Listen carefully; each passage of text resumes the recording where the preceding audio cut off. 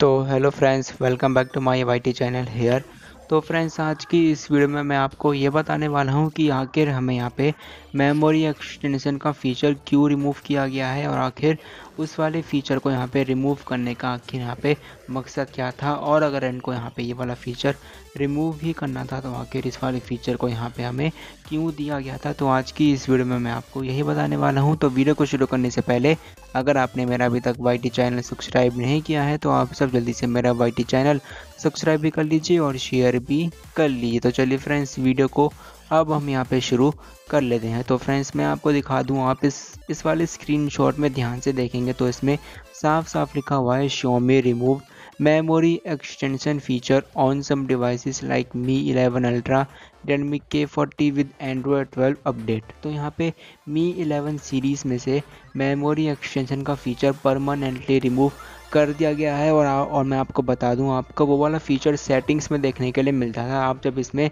Settings open करते थे scroll down additional settings में आपको एक्सेसिबिलिटी के नीचे मेमोरी एक्सटेंशन का फीचर देखने के लिए मिल जाता था। और आप जब उस ऑप्शन को ऑन करते थे तो वो आपसे कहता था reboot your device to apply changes और आप जब इस ऑप्शन को ऑफ़ करते थे तब भी वो आपसे यही कहता था reboot your device to apply the changes तो इस वाले फीचर को अभी के लिए केवल Mi eleven ultra Redmi K forty में से रिमूव किया गया है और रेडमी के फोर्टी इंडिया और ग्लोबल में मी इलेवन एक्स और पोको एफ़ थ्री के नाम से जाना जाता है विद एंड्रॉयड ट्वेल्व अपडेट तो एंड्रॉयड ट्वेल्व अपडेट हमें चाइना बेटा रोम में मी इलेवन सीरीज़ में देखने के लिए मिल चुका है। हालाँकि वो अपडेट हमें मी टेन सीरीज़ में भी देखने के लिए मिल गया है, लेकिन मी टेन सीरीज़ में अभी तक हमें मेमोरी एक्सटेंशन का फीचर रिमूव नहीं किया गया है। मी टेन सीरीज़ में अभी तक मेमोरी एक्सटेंशन का फीचर हमें एंड्रॉयड ट्वेल्व के साथ भी देखने के लिए मिल जाता है। तो फ्रेंड्स अब मैं आपको इसमें बता दूँ कि अपकमिंग अपडेट्स यानी कि जो भी अभी अब हमें अपकमिंग अपडेट्स मिलने वाले हैं, उन अपडेट्स में भी हमें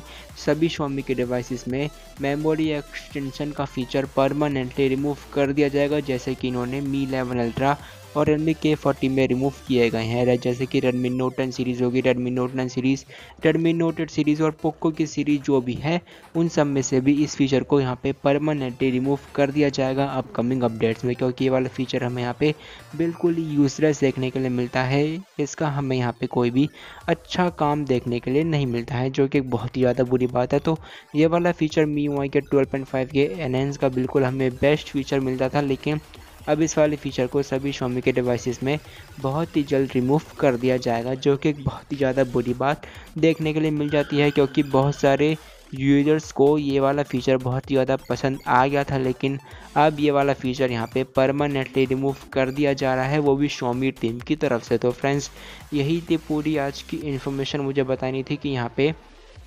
ये वाला फीचर अब परमानेंटली रिमूव कर दिया जा रहा है मेमोरी एक्सटेंशन का शोमी की तरफ़ से, क्योंकि इस वाले फीचर का शोमी फ़ोन्स में कोई भी बहुत ही बड़ा यूज़ हमें देखने के लिए नहीं मिलता है। तो फ्रेंड्स यही थी आज की पूरी वीडियो मेमोरी एक्सटेंशन से रिलेटेड कि। यहाँ पे ये वाला फीचर शॉमी ने परमानेंटली रिमूव कर दिया है, जो कि एक बहुत ही ज़्यादा बुरी बात है। तो फ्रेंड्स यही थी आज की पूरी वीडियो अगर आपको वीडियो अच्छी लगी तो आप एक वीडियो को लाइक कर दीजिए। और अगर आप मेरे वाई चैनल पर पहली बार आए हैं तो आप मेरा वाई टी चैनल सब्सक्राइब भी कर लीजिए और शेयर भी कर लीजिए, क्योंकि मैं अपने ऑफिशियली वाई टी चैनल पर शॉम की तरह जो भी यहाँ पे न्यूज़ आती है, वो मैं आपको